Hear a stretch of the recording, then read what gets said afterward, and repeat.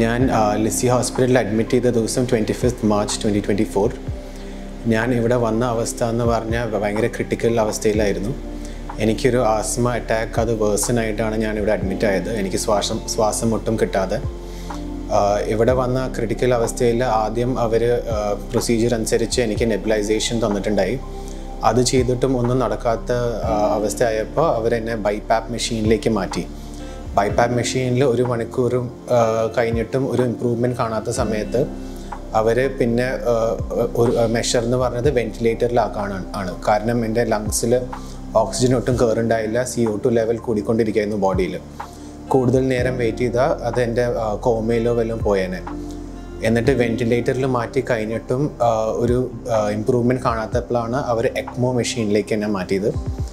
ഈ എക്മോ മെഷീനിൽ മാറ്റിക്കൊണ്ട് മാത്രമാണ് എനിക്ക് ഇത്രയും ഞാൻ ഇവിടെ ഇരിക്കുന്നത് ആക്ച്വലി ഇത് ലെസ്സി ഹോസ്പിറ്റലിന്റെ എക്സ്പേർട്ട് ഹെൽത്ത് കെയറും എക്സ്പേർട്സും കാരണം എനിക്ക് കിട്ടിയ ബെനിഫിറ്റാണ് ഇവരില്ലെങ്കിൽ ഞാൻ ചിലപ്പോൾ ഇവിടെ ഇരിക്കണ്ടാവില്ല.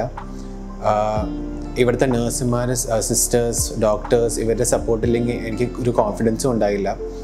ഞാൻ ഇവിടെ എണീറ്റ് ഞാൻ വന്നത് മൺഡേ ഞാൻ പിന്നെ എണീക്കണത് വെനസ്ഡേ ആണ് ഈ വെന്റിലേറ്ററും എക്മോ മെഷീനായിട്ട് അപ്പോൾ ഒരു വല്ലാത്ത അവസ്ഥയിലാണ് ഞാൻ എണീറ്റത്. പക്ഷേ എനിക്കൊരു കോൺഫിഡൻസ് ഉണ്ടായില്ല. ഇവരുടെ ഇവർ കാരണം മാത്രമാണ് എനിക്ക് ആ മെന്റൽ കോൺഫിഡൻസും കിട്ടിയത് എനിക്ക് റിക്കവർ ചെയ്യാനും പറ്റിയത്.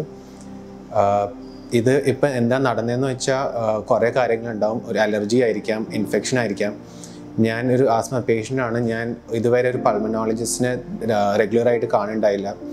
ഞാൻ സെൽഫ് ഡയഗ്നോസ് ചെയ്തിട്ട് ആയിരുന്നു ഇത്രയും നാൾ ചെയ്യണേ. എനിക്ക് തോന്നിയ മരുന്നും ഇൻഹേലറും യൂസ് ചെയ്യായിരുന്നു. ഇത് കാരണം എന്റെ സെൽഫ് മിസ്മാനേജ്മെന്റും തെറ്റിദ്ധാരണ കാരണമാണ് ഞാൻ ഈ അവസ്ഥയിൽ എത്തിയത്. അപ്പോൾ എനിക്ക് ഈ ഹോസ്പിറ്റലിനോടും ഈ സ്റ്റാഫ് ലിസിയുടെ സ്റ്റാഫിനോടും ഭയങ്കര നന്ദിയുണ്ട് എന്നെ ഇവിടെ എന്നെ റിക്കവർ ചെയ്ത് ഈ അവസ്ഥ ഈ സ്റ്റേറ്റിൽ തിരിച്ച് എത്തിച്ചതിന്. താങ്ക് യു നമസ്കാരം. ആസ്മ രോഗികളിൽ ഏറ്റവും സിവിയർ ആയി കാണുന്ന ഒരു സ്റ്റേജിലാണ് ഈ പേഷ്യന്റ് നമ്മുടെ ഹോസ്പിറ്റലിലേക്ക് എത്തുന്നത്. നിയർ ഫേറ്റൽ ആസ്മ എന്ന് പറയും. ശ്വാസോച്ഛ്വാസം തീരെ നടക്കാതെ വരുന്ന ഒരു അവസ്ഥയിൽ രോഗി ശ്വാസത്തിന് വേണ്ടി പ്രാണവായു വലിക്കുക എന്നൊരു അവസ്ഥയാണ് ഇതിൽ ആ ഒരു അവസ്ഥയിൽ എമർജൻസി മെഡിസിനിലേക്ക് എത്തിയപ്പോൾ നെബുലൈസേഷൻസും ഇഞ്ചെക്ഷൻസും ട്രിപ്പും ഒക്കെ കൊടുത്തിട്ടും ഈ പേഷ്യന്റിന് കാര്യമായിട്ടൊരു ഇമ്പ്രൂവ്മെന്റ് ഉണ്ടായിരുന്നില്ല. അങ്ങനെ അവസ്ഥയിലാണ് ഐ സി യുയിലേക്ക് മാറ്റി. വീണ്ടും ഓക്സിജൻ കൊടുക്കുകയും നെബുലൈസേഷൻസ് കണ്ടിന്യൂ ചെയ്യുകയും ചെയ്യുകയുണ്ടായത് ബൈപാപ്പ് എന്നൊരു മെഷീന്റെ സഹായം കൊടുക്കുകയാണ് പിന്നീട് നമ്മൾ ചെയ്തിരുന്നത്. എന്നിട്ടും ആൾക്ക് എല്ലാ സഹകരണത്തോടുകൂടെ മരുന്നുകളൊക്കെ എടുത്തിട്ടും പേഷ്യന്റിന് തീരെ ഒരു ഇമ്പ്രൂവ്മെന്റ് കാണാത്ത ഒരു അവസ്ഥയിലാണ് വെന്റിലേറ്ററിലോട്ട് മാറ്റുക ഉണ്ടായത്. ക്രിട്ടിക്കൽ കെയർ ഡോക്ടർമാരെയും ഞങ്ങൾ വിളിച്ചിരുന്നു ഇതിന്. ഈ വെന്റിലേറ്ററിലോട്ട് മാറ്റിക്കഴിഞ്ഞാൽ ഏതാനും മണിക്കൂറുകളിൽ സാധാരണ ഈ മരുന്നുകളൊക്കെ എഫക്റ്റ് വരുമ്പോഴേക്കും ബെറ്റർ ആവാറാണ് പതിവ്. ആ ഒരു ഇമ്പ്രൂവ്മെന്റ് ഈ പേഷ്യന്റിൽ കാണാത്ത ഒരു അവസ്ഥയിലാണ് നമ്മൾ ക്രിട്ടിക്കൽ കെയർ ഡോക്ടർമാരും കാർഡിയോത്തോറസിക് ഡോക്ടർമാരും പൾമണോളജിസ്റ്റും കൂടെ ഡിസ്കസ് ചെയ്ത് ഒരു എക്സ്ട്രാ കോർപ്പോറിയൽ മെംബ്രെയിൻ ഓക്സിജനേഷൻ അതായത് ഒരു ഡയാലിസിസ് രോഗിക്ക് ഇപ്പോൾ വൃക്കകൾ വർക്ക് ചെയ്യാതിരിക്കുമ്പോൾ പുറമേ നിന്നും ബ്ലഡ് പ്യൂരിഫൈ ചെയ്ത് തിരിച്ച് ശരീരത്തിലോട്ട് ആക്കുക എന്നുള്ളത് പോലെ തന്നെ ഓക്സിജനേഷൻ തീരെ നടക്കാത്ത രോഗികൾക്ക് ചെയ്യുന്ന ഒരു ഡിവൈസാണ് എക്സ്ട്രാ കോർപ്പോറിയൽ മെമ്പറി ഓക്സിജൻ അതായത് എക്മോയിൽ ശരീരത്തിൽ നിന്നുള്ള ബ്ലഡ് പുറത്തോട്ട് മാറ്റുകയും അത് പുറമേ ഒരു യന്ത്രത്തിൽ ഓക്സിജനേഷൻ ചെയ്യുകയും തിരിച്ച് ശരീരത്തിലോട്ട് അത് തന്നെ കൊടുക്കുകയാണ് എക്സ്ട്രാ കോർപ്പോറൽ മെംബ്രെയിൻ ഓക്സിജനേഷനിൽ ചെയ്യുന്നത്. ഈ രോഗിയുടെ കാര്യത്തിൽ എക്മോ തുടങ്ങിയതിന് ശേഷം നല്ലൊരു ഇമ്പ്രൂവ്മെന്റ് ആണ്. ദിവസങ്ങൾക്കകം നമ്മൾക്ക് വെന്റിലേറ്ററിൽ നിന്നും മാറ്റുകയും എക്മോയിൽ നിന്നും മാറ്റുകയും ചെയ്യാൻ സാധ്യമായി. ഇത്രയും ഗുരുതരമായ ഒരവസ്ഥയിൽ വന്ന ഒരു രോഗി വളരെ ദിവസങ്ങൾക്കകം ഇമ്പ്രൂവ് ചെയ്ത് വീട്ടിലോട്ട് പോകുമ്പോൾ വളരെയധികം സന്തോഷമാണ് ഒരു ഡോക്ടർ എന്ന നിലയിലുള്ളത്. പക്ഷേ അതിനോടൊപ്പം തന്നെ ആസ്മ രോഗികൾ കൃത്യമായിട്ട് ഇൻഹേലർ രൂപത്തിലുള്ള മരുന്നുകൾ എടുക്കുകയാണെങ്കിൽ ഒരു ഡോക്ടറുടെ നിർദ്ദേശപ്രകാരം ഈ ഒരു അവസ്ഥയിൽ എത്തുന്നത് ഒരു പരിധിവരെ ഒഴിവാക്കാനും പറ്റും. താങ്ക് യു നിങ്ങൾക്കെല്ലാവർക്കും അറിയാം ആസ്മ എന്നുള്ളൊരു രോഗം വളരെയധികം കോമൺ ആയിട്ടുള്ള ഒരു അസുഖമാണ്.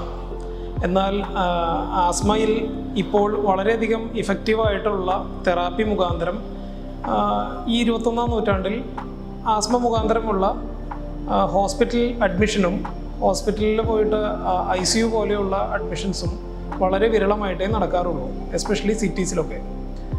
ബിക്കോസ് ആസ്മയെക്കുറിച്ചുള്ള അവബോധം സമൂഹത്തിൽ വളരെയധികം കൂടുതലായി വന്നിട്ടുണ്ടായിരുന്നു. ആസ്മയിൽ ഇൻഹേലർ ഉപയോഗം മുഖാന്തരം കൃത്യമായിട്ട് ആസ്മയെ നിയന്ത്രിക്കാൻ പറ്റും എന്ന് പലരും മനസ്സിലാക്കിയിട്ടുണ്ട്. അപ്പോൾ ഇതെല്ലാം കാരണം ഇപ്പം ട്വന്റി ഫസ്റ്റ് സെഞ്ചുറിയിൽ ആസ്മ മുഖാന്തരമുള്ള ഐ സി യു അഡ്മിഷൻസ് വളരെ കുറവാണ്.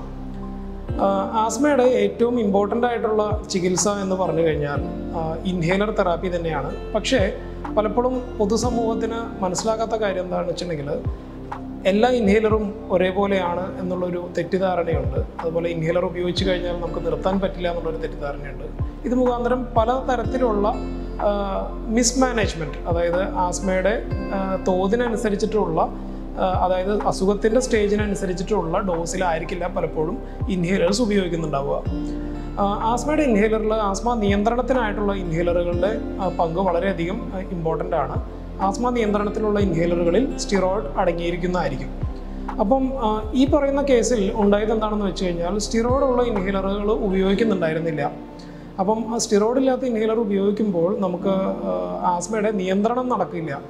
എന്നാൽ നമുക്ക് വളരെയധികം ശ്വാസ ശ്വസിക്കാൻ ബുദ്ധിമുട്ടുണ്ടാകുന്ന സമയത്ത് ഈ ഏത് ബ്രോങ്കോഡൈലേറ്റർ ഇൻഹേലറുകൾ ഉപയോഗിച്ച് കഴിഞ്ഞാൽ പോലും സാൽബ്യൂട്ടമോൾ പോലുള്ള ഇൻഹേലർ ഉപയോഗിച്ച് കഴിഞ്ഞാൽ താൽക്കാലികമായിട്ടുള്ള ഒരു ഇമ്പ്രൂവ്മെന്റ് രോഗിക്ക് കിട്ടുകയും ചെയ്യും. എന്നാൽ നിരന്തരം ആ സാൽബ്യൂട്ടമോൾ മാത്രമുള്ള ഇൻഹേലർ ഉപയോഗിക്കുന്നത് മൂലം ആസ്മ രോഗത്തിന്റെ നിയന്ത്രണം കൃത്യമായിട്ട് ഉണ്ടാകാതിരിക്കുകയും ശ്വാസ ശ്വസന നാടികളിലുള്ള നീർക്കെട്ട് കൂടുകയും ഒരു ആസ്മ സിവിയർ ആസ്മ അറ്റാക്ക് ഉണ്ടാവുകയും ചെയ്യാനായിട്ടുള്ള റിസ്ക് ഉണ്ട്. ഇപ്പം ഗ്ലോബൽ ഇനീഷ്യേറ്റീവ് ഫോർ ആസ്മ പ്രതിപാദിക്കുന്നത് പോലെ തന്നെ സാൽബ്യൂട്ടമോൾ ഇൻഹേലറുകളുടെ അമിതമായ ഉപയോഗം മോർട്ടാലിറ്റി അതായത് മരണം വരെ ഉണ്ടാക്കാനായിട്ടുള്ള റിസ്ക് കൂടുതലാണ് എന്ന് തന്നെ പറഞ്ഞിട്ടുണ്ട്. അപ്പോൾ സ്റ്റിറോയിഡുകൾ ഇല്ലാത്ത ഇൻഹേലറുകളുടെ ഉപയോഗം ആക്ച്വലി ആസ്മയ്ക്ക് വിപരീത ഫലമാണ് പലപ്പോഴും ലോങ് റണ്ണിൽ ഉണ്ടാക്കുക. അതാണ് ഏറ്റവും നമ്മൾ മനസ്സിലാക്കേണ്ടതായിട്ടുള്ള കാര്യം. പിന്നെ ഈ വ്യക്തിക്ക് എല്ലാ സിവിയർ ആസ്മയുടെ മാനേജ്മെന്റുകളും കൊടുത്തു കഴിഞ്ഞിട്ടും ഈവൺ മെക്കാനിക്കൽ വെന്റിലേറ്റർ വെന്റിലേറ്ററിലേക്ക് ഉപയോഗിച്ചതിന് ശേഷം പോലും ഓക്സിജൻ മെയിന്റെയിൻ ചെയ്യാനും അതുപോലെ തന്നെ കാർബൺ ഡയോക്സൈഡ് ശരീരത്തിൽ നിന്ന് വിഭജിച്ച് കളയാനും ബുദ്ധിമുട്ടായത് മുഖാന്തരമാണ് എക്മോ എന്ന് പറയുന്ന ഉപകരണത്തിലോട്ട് മാറ്റേണ്ടി വന്നത്. എക്മോ എന്ന് പറഞ്ഞു കഴിഞ്ഞാൽ നമ്മുടെ ഡയാലിസിസ് പോലെയുള്ള ഒരു കാര്യമാണ്. അതിനുള്ളിൽ നമ്മുടെ രക്തത്തിനുള്ളിലുള്ള രക്തം പുറത്തോട്ട് എടുക്കുകയും എക്മോ മെഷീന്റെ ഉള്ളിലോട്ട് ചലിപ്പിച്ചിട്ട് അതിൽ നിന്ന് കാർബൺ ഡയോക്സൈഡ് മാറ്റിക്കളയുകയും ഓക്സിജൻ ഓക്സിജനേഷൻ കൊടുക്കുകയും ഓക്സിജൻ തിരിച്ചു കൊടുക്കുകയും ചെയ്യുന്ന അവസ്ഥയാണ് എക്മോ എന്ന് പറയുന്നത്.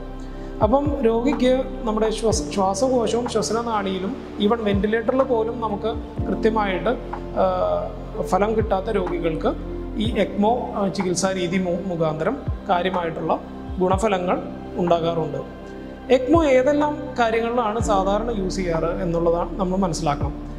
ഏതാനും പതിറ്റാണ്ടുകളായിട്ട് എക്മോ നമ്മുടെ കയ്യിൽ ഉണ്ടെങ്കിൽ പോലും വളരെയധികം ഉപയോഗം വന്നിട്ടുണ്ടായിരുന്ന രണ്ട് കാലഘട്ടം എന്ന് പറയുന്നത് ഒന്ന് രണ്ടായിരത്തി ഒമ്പത് രണ്ടായിരത്തി പത്ത് കാലഘട്ടങ്ങളിൽ ഉണ്ടായിട്ടുള്ള H one N one pneumonia കാരണമുണ്ടായിട്ടുള്ള A R D S. അതുപോലെ തന്നെ രണ്ടായിരത്തി ഇരുപത് കാലഘട്ടങ്ങളിൽ ഇപ്പോഴും പല സ്ഥലങ്ങളിലുമുള്ള കോവിഡ് ന്യൂമോണിയ പോലെയുള്ള കാലഘട്ടങ്ങളിലാണ് നമുക്ക് ഈ എക്മോ എന്നുള്ള ഉപകരണത്തിന്റെ ഉപയോഗം കൃത്യമായിട്ട് ക്രിട്ടിക്കൽ കെയർ ഡിപ്പാർട്ട്മെന്റിലും ഈ ശ്വാസകോശ രോഗ പൾമനോളജി ഡിപ്പാർട്ട്മെന്റിലും ഒക്കെ കൃത്യമായിട്ട് മനസ്സിലാക്കാനും ഉപയോഗിക്കാനും കഴിഞ്ഞിട്ടുള്ളത്. എക്മോ യൂഷ്വലി ഇതുപോലെയുള്ള ഓക്സിജൻ വളരെയധികം താഴോട്ട് പോകുന്ന രോഗികളിൽ വെന്റിലേറ്ററിൽ പോലും കൃത്യമായിട്ട് ഇമ്പ്രൂവ്മെന്റ് വരാത്ത രോഗികളിലാണ് എക്മോ പോലെയുള്ള ഉപകരണങ്ങൾ നമ്മൾ യൂസ് ചെയ്യുക. കോവിഡ് പോലെയുള്ള രോഗങ്ങളിൽ ലങ്സ് അമിതമായിട്ട് നശിച്ചു പോകുന്ന ഫൈബ്രോസിസ് പോലെയുള്ള കാര്യങ്ങൾ ഉണ്ടാകുന്ന വ്യക്തികളിൽ ലങ് ട്രാൻസ്പ്ലാന്റേഷൻ പോലെയുള്ള കാര്യങ്ങളിലോട്ടുള്ള ഒരു ബ്രിഡ്ജ് ബ്രിഡ്ജ് എന്ന് പറഞ്ഞു കഴിഞ്ഞാൽ ലങ്ങിന് പുതിയ ലങ്സ് കിട്ടുന്നത് വരെയുള്ള ഒരു തെറാപ്പി മോഡൽ പോലെ ആയിട്ടും എക്മോ നമ്മൾ പലപ്പോഴും യൂസ് ചെയ്യുന്നതായിട്ട് കണ്ടിട്ടുണ്ട്. എന്നാൽ ആസ്മ പോലെയുള്ള രോഗങ്ങളിൽ എക്മോ ഉപയോഗിക്കുക എന്ന് പറയുന്നത് വളരെ അപൂർവങ്ങളിൽ അപൂർവമായിട്ടുള്ള ഒരു ചികിത്സാ രീതിയാണ്.